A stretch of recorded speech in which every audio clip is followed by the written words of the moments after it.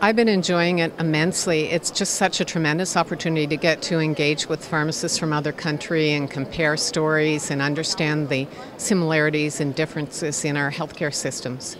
Yes, today I spoke about the um, state of expanded scope of services for pharmacists across the country, specifically focusing on medication. I actually really enjoy working and engaging with this group. I find that they're a very engaged audience. They they ask a lot of good questions, and uh, it's just really been a highlight of my time here in Dubai to have the opportunity to engage with these pharmacists. This is my first time visiting Dubai, but it won't be my last. I, I've been enjoying it. People have been absolutely wonderful. They've been friendly, they've been warm and welcoming, and it's just a, a really fascinating opportunity to see a new country.